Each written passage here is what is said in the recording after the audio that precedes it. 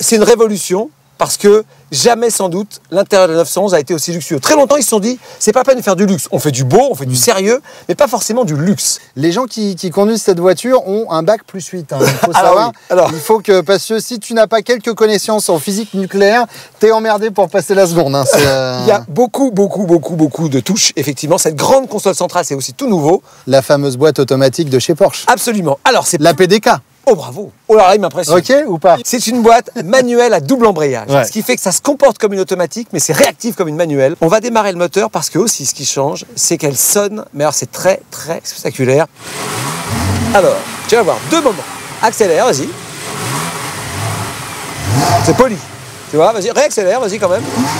Ok, un appui là-dessus. Celui-là? Mais échappement. Voilà. Ah, maintenant, mais réappuie. c'est plus pareil. C'est un bouton pour faire du bruit en fait. Exactement. C'est parce qu'on est des grands un enfants. bouton pour faire du bruit. Là, pas de bruit.